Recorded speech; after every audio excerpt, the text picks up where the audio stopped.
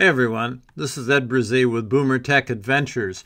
This video tutorial demonstrates Zoom, Z-O-O-M, a video conferencing or video calling system. With the pandemic and people working and staying at home, we are using video calling all the time.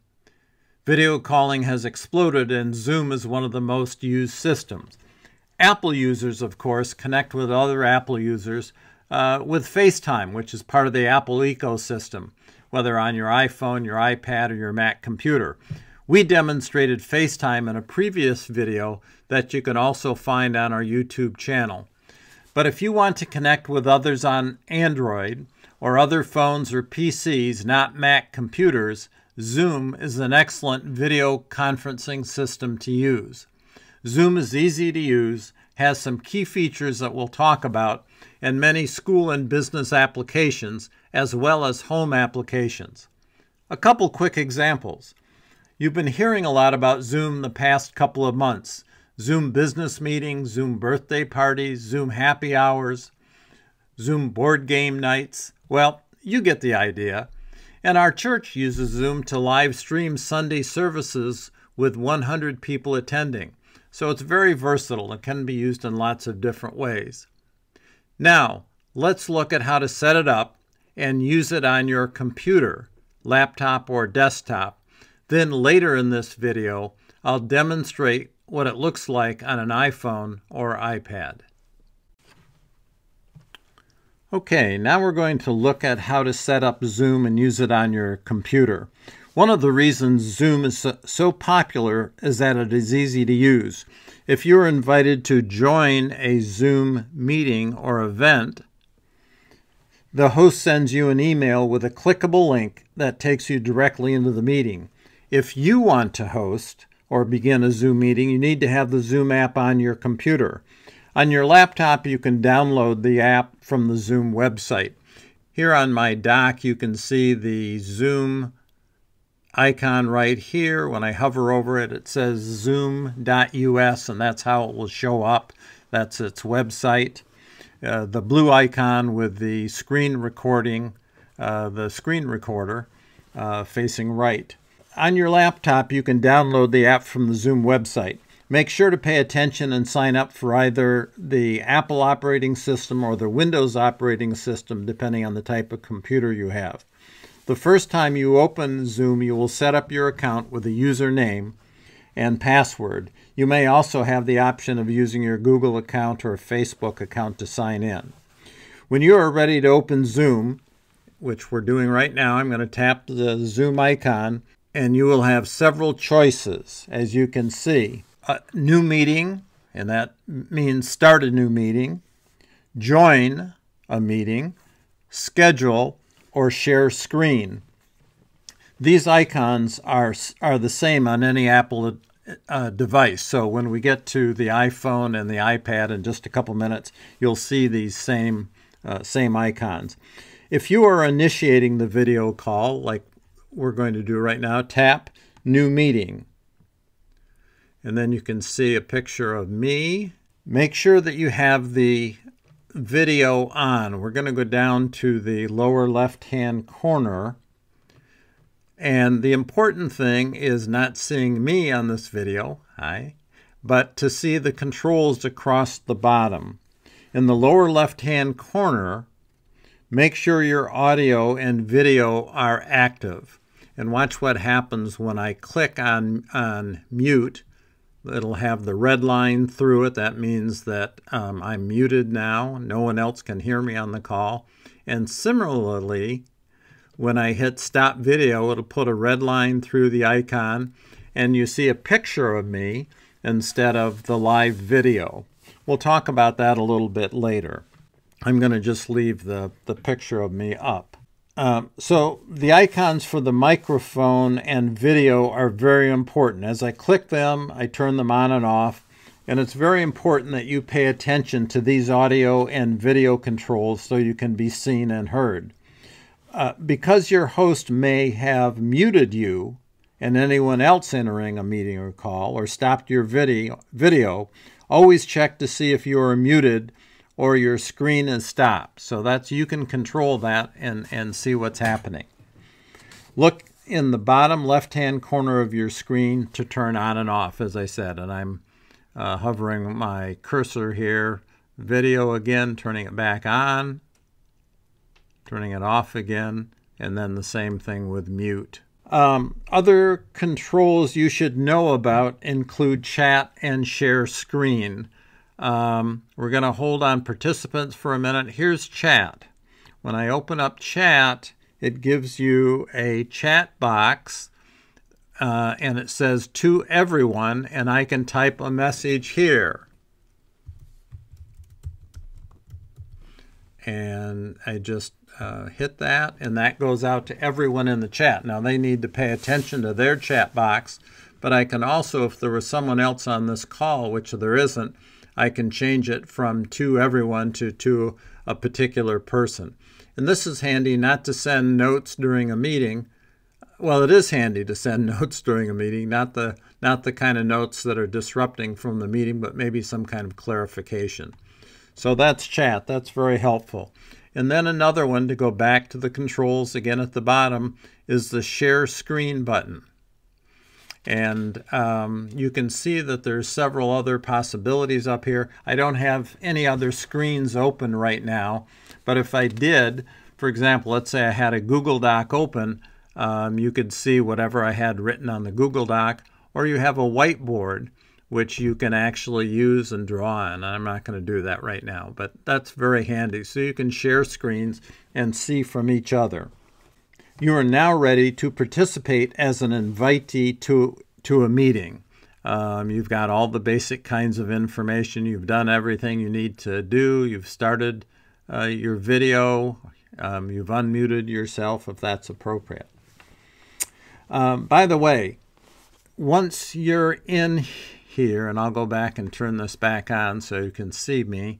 Um, up here, you will see if other people were in the in the um, meeting in this meeting, you will see other people's pictures, little thumbnails up there. Um, people who have joined the video call, um, and there's a gallery view there, and you can also spotlight single people as speakers so your focus is on them. Now, let's say you're the host of the call and want to invite others. If you are initiating a video call, tap on the participants icon. Let's go back to the participants icon here. I'm going to do that at the bottom of your screen. When you do, a white box will op open that says invite on the lower left hand corner. And I just tap invite and here I can I'm going to invite people by email. Um, I'll just, in my case, I'll just hit Gmail because that's what I use, and that would open up a um, a message. Actually, let's do that. It uh, opens up in in Gmail the opportunity to invite people, and then it also sends. Then you've got all the information right here. It says join Zoom meeting, and that'll be a clickable link. It's got other information on the meeting ID and password, which is really not applicable at this point. But really, all someone else needs is this clickable link where it says join Zoom meeting right here. And I would send that out. So if you are initiating a video call, tap on the participants icon. Let's just go back through that. There we go. And hit invite and then invite them through email. And on the other end, then they will have received your email with a message with a link to tap to begin the Zoom call on their end. To schedule a meeting, here we go right here. If you want to schedule a meeting ahead of time, um, for example, you know next Tuesday you want to have a Zoom meeting or a Zoom call with your family and you can schedule it and set it up. You can schedule it for the exact time and do the same thing and send that out to everybody so that they have the link ahead of time and so everybody's on the same schedule. So that's pretty much how it works on the laptop. Okay, let's look at Zoom on your iPad or your iPhone. I'm using my iPad here to demo, but the iPhone is essentially the same. The process and the icons are almost identical to those we just saw on my laptop, but there are some small choices and they may look a little bit different. So the first thing you will have done already is to go to the App Store and select the app that says Zoom Cloud Meetings. It's a free app. Tap the blue Zoom app that's right here on my screen, which I'm doing, and select New Meeting which I'm going to do. And you'll see, you recognize these icons from the laptop. New meeting, join, which means join a meeting in progress, schedule, or share screen. And I'm going to start a new meeting. And I always want to make sure that a video is on, which it is, and I'm going to start a meeting. It'll say call using internet audio, which I'm going to do. And we're ready to go. And if I hold the that's scary. If I hold my iPad up like that, you can see that it's that it's me. One of the first things I'm going to do is to stop my video and you'll see a picture of me instead. As you look at the screen, right now I can I, you're not seeing me and I'm not seeing me, just a picture of me. You'll see the same controls when it, but I have to tap the screen and it, it it's a drop down menu from the top as you can see and they will go away after a while. So let's look at, at several of these. And on the iPad, these uh, controls obviously are in the top, and and the on the iPhone they're on the, the bottom. But it doesn't make a whole lot of difference. They're the same same controls anyway. In the upper right hand corner, we have mute. Um, I've uh, stop my video already. You can see it's got the line through it and it's red. I'll do the same to mute. Share content. It says share content here instead of share screen on the laptop. Let's skip participants for a minute and we will go to more, which means more options. And I tapped the three dots and, and this brought up several things like the uh, reactions or gestures, the hand clapping and the thumbs up. Uh, chat, if I tap chat, that will bring up a chat box, and we talked about how that works so that you can uh, discuss uh, with someone during the um, during the Zoom video. I'm going to go ahead and close that. I'm going to go back to the more and what other things. There's some meeting settings in here and a couple other things.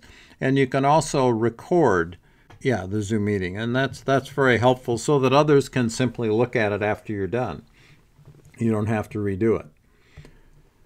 So let's go back to participants. So those are just several things to look at. So I'm going to tap on participants and this brings up the invite or the invitation at the bottom of the screen, as you can see in the lower left-hand corner of the white box right here. And if I open that up, um, uh, then it gives me an option to send an email to do an invite. The other the thing I like about the iPad or the iPhone is you can also send a text message, and that will allow you um, to get to people a little easier. On the laptop, the only way you can get to people pretty much is through um, an email, so they have to know it's coming. But a text message is a little handier. So let me just open that up again. I'm in participants, and that opens up and in the invitation, uh, which you can use. Of course, once others enter, I'll get rid of that. Once others enter the Zoom meeting, you'll see them at the top of your screen above my picture, or, or if I was back live here, it'll be at the top of your screen. Um, you can end the meeting in the upper left-hand corner on the iPad. It says end meeting, and I'll do that, and then that comes up and it says end meeting or leave meeting. If you're the host, you need to end the meeting um, because you're the person shutting it down.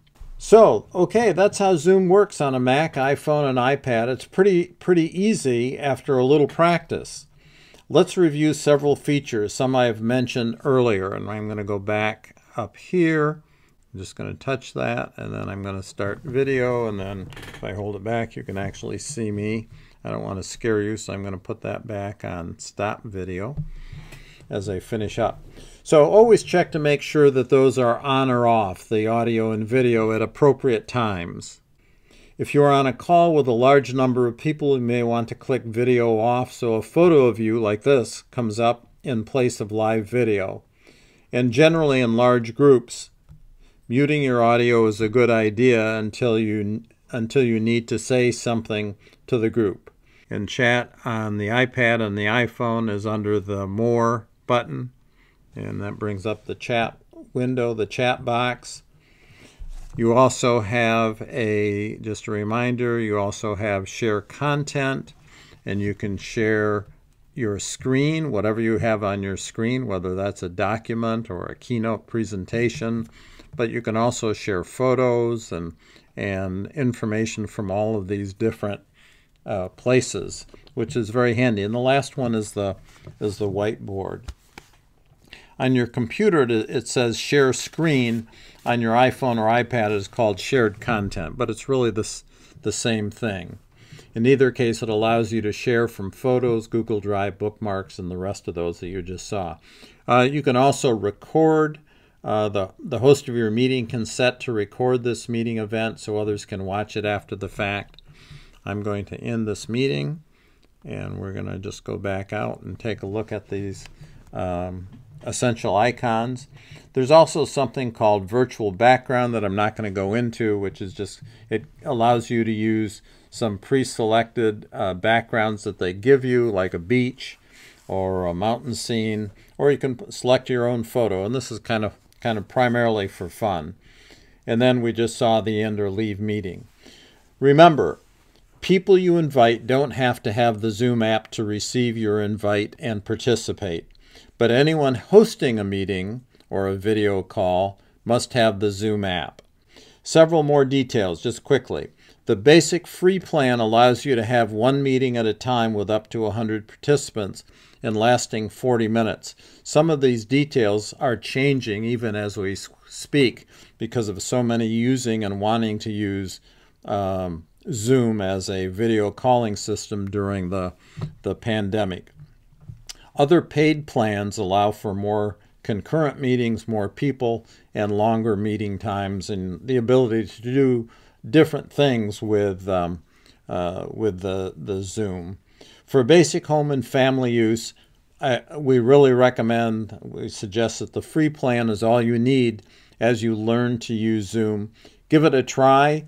We have Boomer Tech Adventures has a great blog post written by Jill Spencer on using Zoom that'll go along very nicely with this video, and we'll link that um, on our YouTube channel. This is Ed Brazee for Boomer Tech Adventures.